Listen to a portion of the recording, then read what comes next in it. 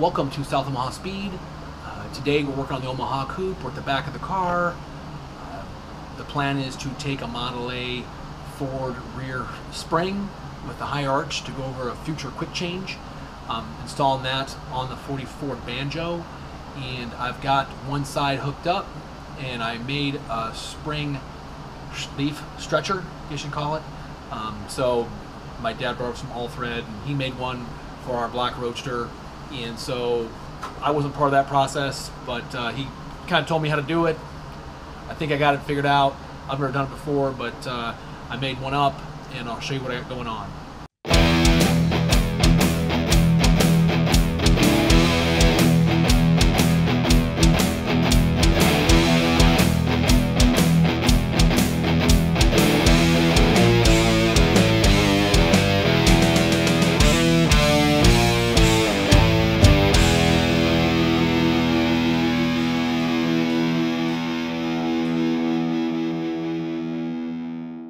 Okay, so here's the 44 Banjo.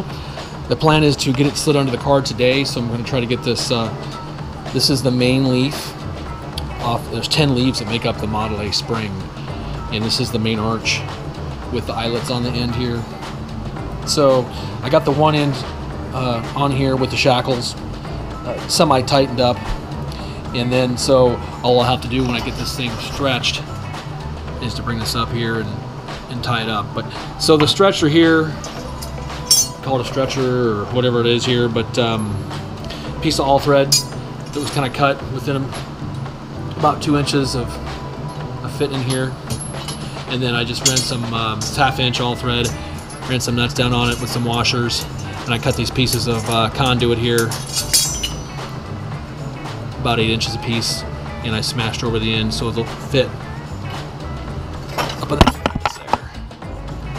shouldn't kick out. So uh, slide these over each end and then uh, get it positioned up in there. And then I'll start walking those nuts out. Uh, hopefully uh, spread that spring out enough the right length that I can put that shackle on the other side. So I'll get the camera set up and uh, we'll see if going to work.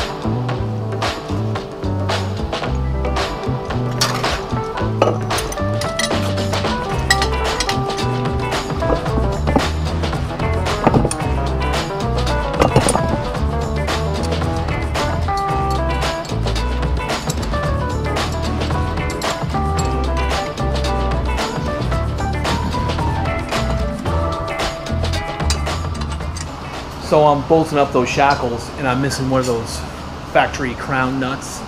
They're actually, I think they're kind of like a locking nut as well. And all I had was a galvanized uh, 3 8 fine thread, I guess is what it is. And uh, I just wanted to show you something I got from Hondo Stash that Kay, I bought from Kay uh, with, with the jacket and all the other parts I got for the car too.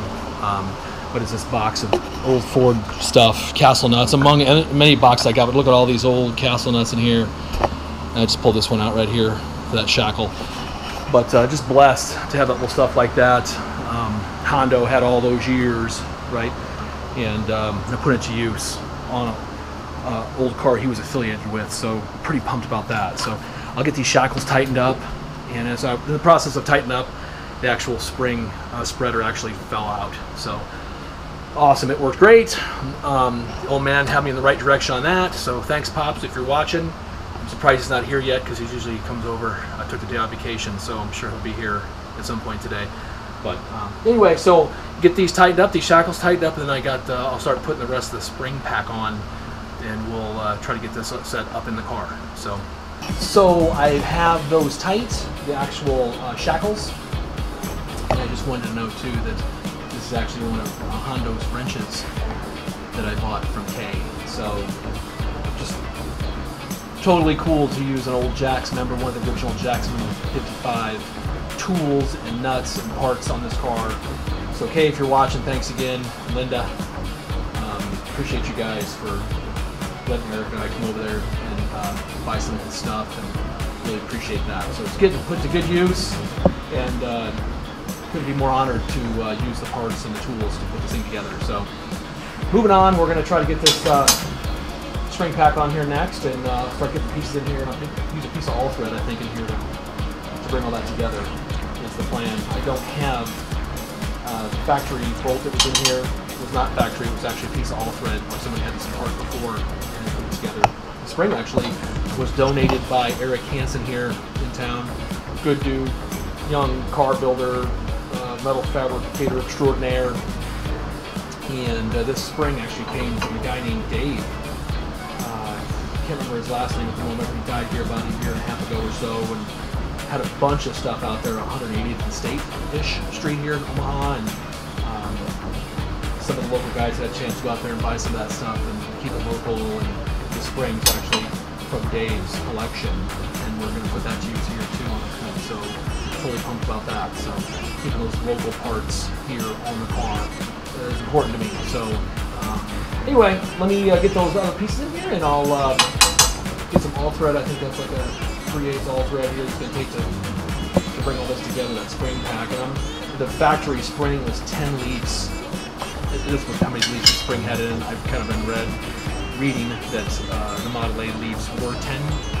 Somewhere like the Roadsters might have had seven leaves in them, and but a normal spring pack for Model A, which was Model A was 28 to 31 was the years those were built. And they all had that high arch on the rear, and the reason why we're doing that high arch is to clear the the quick change portion of the rear end that'll come off this rear end eventually. Um, right here with the sport gears in it. Um, I got one on the floor, but it won't happen now. But when it comes time to build that quick change, I want to be ready. That's why we're putting this high arch in it. Probably said that before, but for anybody just joining, that's why we're changing to the high arch spring versus the relatively flat spring that would have came on the 33, 34, and uh, same spring that would have been using this 44 would have been very flat. So that's why we changed the cross member here this high hump for this high hump arch spring to clear this area here for a quick change down the road. So let me get those other spring pieces in here and uh, we'll get the camera turned back on and start pulling those down and pulling together. Well, we got a little treat for you, everybody. Check we've made it over. We doing it now. We doing it now. So what I did is um, got a piece of all thread cut here to suck this spring down with, and I threaded a nut on the end there, and I put a square head on it, and then I weld it on the top. You can see that, and then it fits this square hole here. So I'll cut this for length once I get this. Um, once I get the spring all sucked together and sucked up, that's my next move here. I think I'm going to go with eight leaves. The stock Model A Roadster had seven, from what I understand, and so I'm going to go ahead and put eight on this one. So it's I kind of want to be a little stiff. I don't know. We'll see. Always take leaf out if it's too much. So, uh, so that's what we're doing here. And uh, let me get the camera repositioned, and we'll get this thing stuck together. We're st stacking these bad boys on here, and I'm going to come down here and put a little of this grease here, where you can see where that spring's really digging in. I'm not going to do the center up in here because it's already got some kind of sticky something on there that's been on all these years, and it seems to be working well at this point, evidently. I was really excited about the way the spring looked when I took it apart because I've seen them really rusty and nasty. So it's pretty, pretty clean. So Eric Hansen, if you're watching, thanks again. Dave, if you're up in heaven and you're watching, let's go to good use, buddy.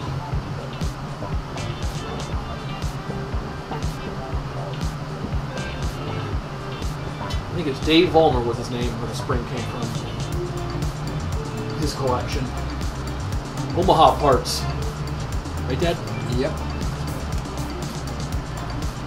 You can kind of see right in this where, on this where the spring has been wearing tails out here where it really works itself going up and down. That's kind of where I'm putting the grease.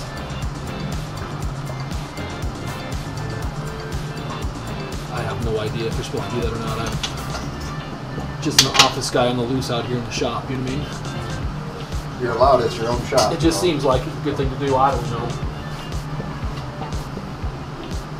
People out there on YouTube land like, oh, I'll do that. I have no idea. Just keep moving forward, right, Dad?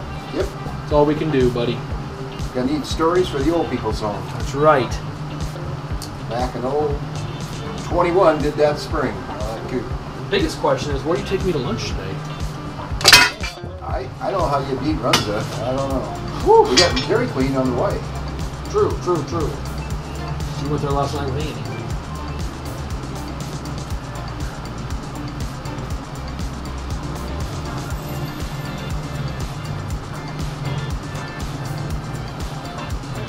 Anybody got walleye in town? Brownies. Can't see the hot rod with brownies.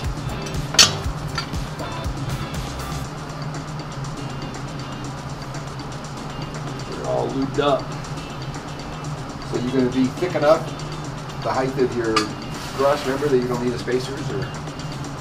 Uh, underneath for the You know, U you, bolts yeah, you know how we put spacers so the spring's thick enough if you take leaves out? on the black roadster. I just put uh, the little small leaves in the bottom. Oh, that's what I those just are? stacked them underneath. Yeah. Okay, I took the same one, put them on top underneath. Under here, yeah. Gives your, your length and your For the thickness from my yeah. Your U-bolts. Yeah. I didn't cut them or anything. I just left them. You mean Yeah. there was five on five on top of the roadster, five main leaves, and then I put the I think three to make up on the bottom. Was that a virgin old Model A spring, was it too? I had no idea. I can't remember. I can't remember.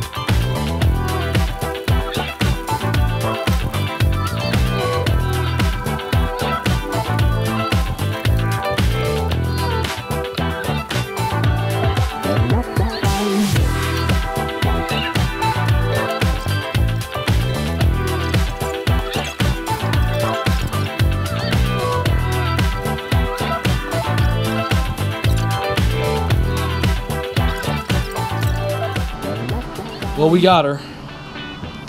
She's in there, eight leaves, probably too stiff, but we're gonna try it.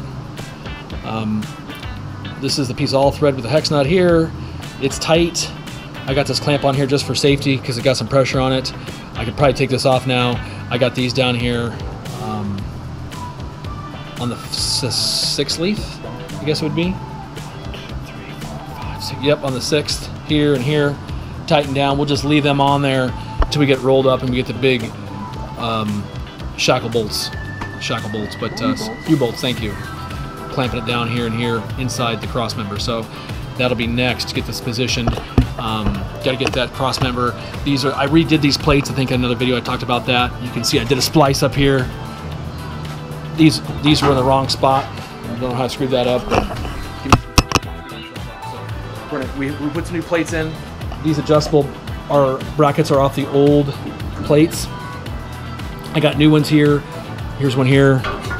We gotta get them put in place, and they line up with our uh, our holes here. So gotta change that out.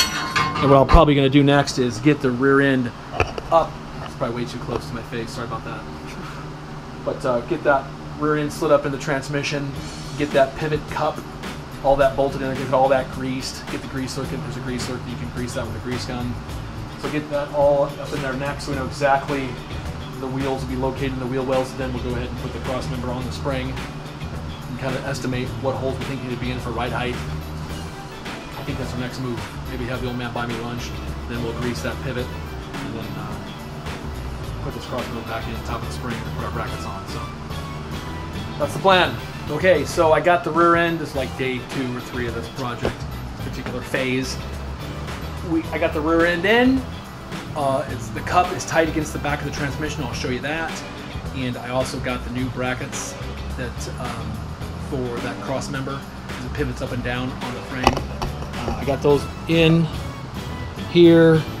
Uh, the cross member's been taken off the old plates. Now it's in here positioned on the new plates with the spring in, up inside there, exactly where it needs to be. So that's a good feeling to have that done. Car's pretty much at ride height as it's mocked up right here. Got that side tacked in. The next plan of attack back here is, is weld these boxing plates in, get all that welded up. So I wanted to get this in where it needed to be. I'm probably going to put a 45 in here. Just a, a piece of angle iron or something to keep things from pulling. Not that it should pull, but just in case. And I'll take you up front and show you what the, the front of the transmission looks like. I got the transmission mounts into. Got these all finished up. Got the speedo gear on it.